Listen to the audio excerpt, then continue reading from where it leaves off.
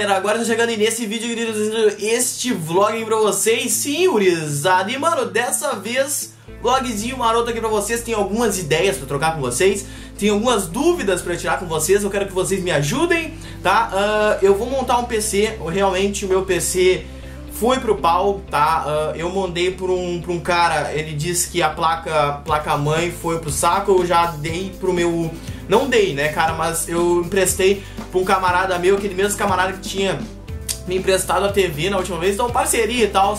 Ele vai ver se realmente é isso que aconteceu, se realmente tem alguma, alguma coisa, alguma peça ali pra salvar, que daí a gente já, já faz um câmbio ali né, cara? Então vamos ver, mas realmente aquele PC eu não, não vou mais ficar com ele, vou abandonar ele, tá? E tô partindo pra outra, vou montar um PC gamer pra mim, tá?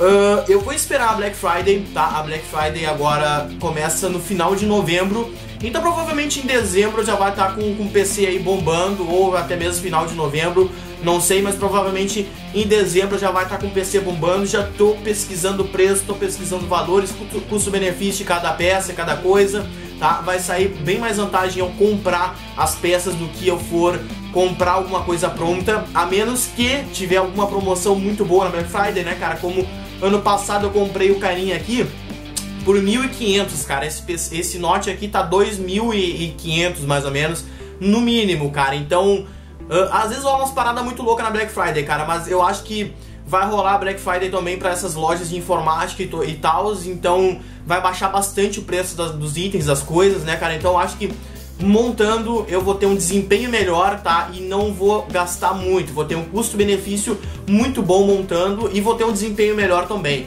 Né? Uh, eu vou compartilhar aqui com vocês, eu quero ver uh, o que, que vocês acham disso. Eu acho que algumas coisas uh, eu vou ter que trocar, vou ter que alterar. Eu não sei se tudo é compatível, eu não manjo muito dessa questão de PC, de informática, de, de computador, periféricos, hardware, eu não, não entendo muito, tá? Mas eu quis fazer um, algo que tem um custo-benefício bom, que vai me beneficiar bastante, que vai suprir as minhas necessidades aqui no canal.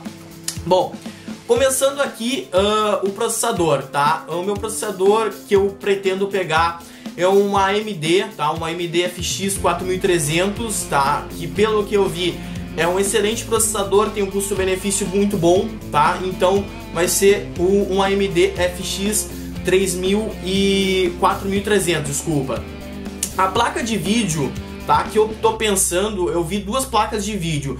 Eu vi um novo lançamento da Nvidia, que é uma EVGA modelo uh, SC, tá? Que ela é uma GTX, eu acho, 750, eu não me lembro, mas enfim, vai estar tá aparecendo a imagem dela para vocês. É uma placa que parece ser muito boa. Eu vi alguns vídeos dela no YouTube, eles fazem alguns testes e tudo, então é uma placa boa, tá? E tem um bom custo-benefício também.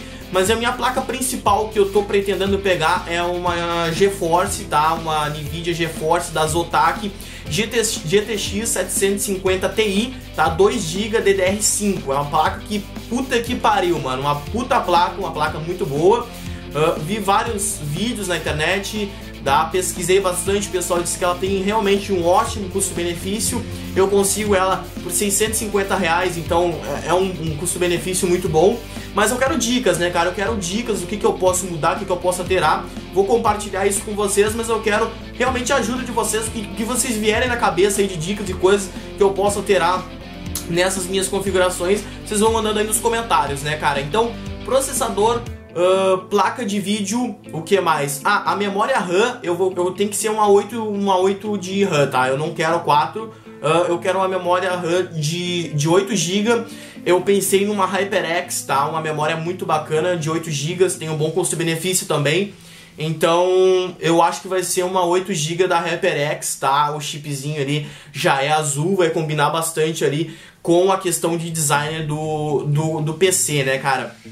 Outra coisa também que eu tenho que tirar as minhas dúvidas é a questão da fonte, tá? A fonte, eu tô pensando numa EVGA 600B, que é uma fonte de 600 watts. Eu não sei se ela vai aguentar muito pau disso tudo, mas eu acho que de repente ela aguente, senão vou ter que pegar uma de 700 mais ou menos. Tá? Mas essa de 600, a, a EVGA 600B, essa fonte, ela tem realmente um ótimo custo-benefício, tá? Ela é bem barata, digamos assim, comparada a outras fontes e é uma fonte de 600 watts, né? Eu acho que aguenta o pau. Escrevam aí o que, que vocês acham, se vocês acham que tem que ser uh, uma de 600 ou uma de 750 talvez para garantir para garantir a, a porra toda. Escreva aí, escreva aí, eu ainda não, não sei, tá? Isso tudo vai ser mais ou menos nesse formato o, o PC, mas eu ainda não sei realmente se uh, vai ser isso mesmo. Pode ser que aconteça alguma alteração. Outra coisa, a placa-mãe. Tá? A placa-mãe eu tô com algumas dúvidas, eu não sei realmente se ela vai ser compatível com tudo, tá? Porque o meu o meu o meu processador tá é um FX 4300 e é o socket AMD AMD+, ou AM+, alguma coisa assim, tá? E a placa de, de placa-mãe que eu olhei, tá? É uma da Gigabyte também, um 760G, se eu não me engano, e o socket é o mesmo do processador. Só que o que, que acontece? Eu não sei se essa placa vai suprir, se essa placa vai ser compatível com a minha placa de vídeo. Eu sei que com o processador, com, com AMD UFX 4300, ela é compatível, é uma gigabyte a placa-mãe. Só que eu não sei se essa placa-mãe vai aguentar a placa de vídeo, tá? Porque a placa-mãe, se eu não me engano, é uma DDR3 e a placa de vídeo, tá? É uma DDR5 e eu não sei se ela é compatível uma com a outra, eu não, não, não sei ainda. Então quero pedir realmente novamente a ajuda de vocês. Manda aí embaixo o que vocês acham, o que vocês não acham, a galera que manja mais, tá? Eu vou estar tá tentando deixar a descrição também de todos os itens aqui embaixo na descrição, tá? Para vocês verem certinho dos modelos, tudo mais, para ver o que, que vocês acham disso tudo.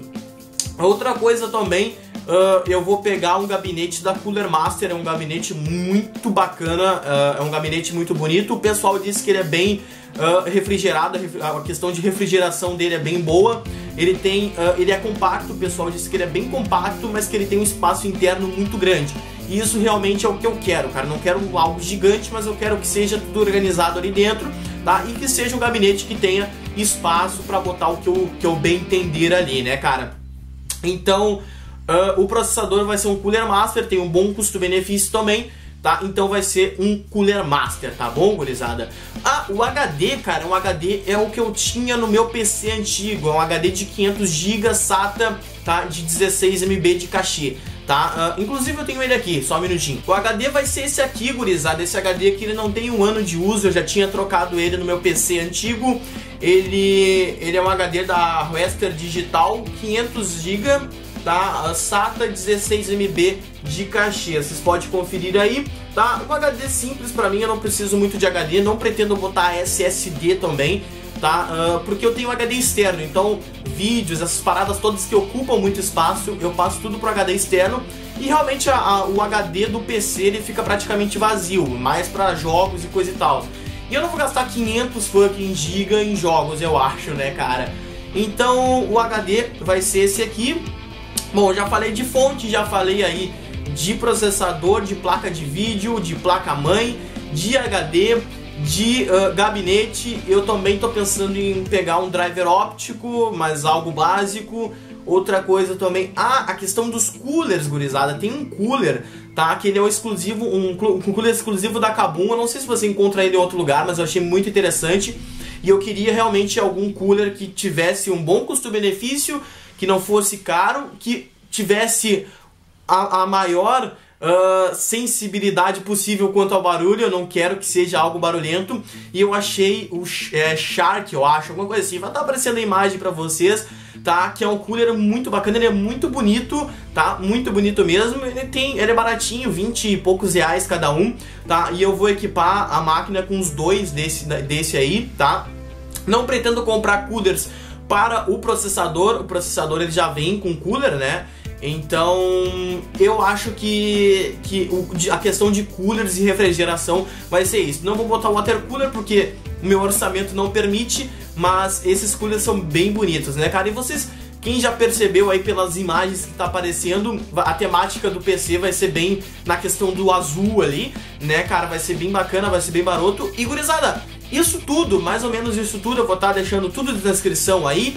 Vocês escrevam o que é compatível, o que não é, o que eu posso mudar, alguma coisa que tenha um custo-benefício maior do que tudo isso, tá? Gurizada, nos preços de hoje, nos preços de agora, no que eu pesquisei, tá? Nas, os, os melhores preços que eu achei foi na Pichal Informática e na Kabum, algumas coisas vão vir da Kabum e outras da Pichal, tá? Nos preços de agora, obviamente, né?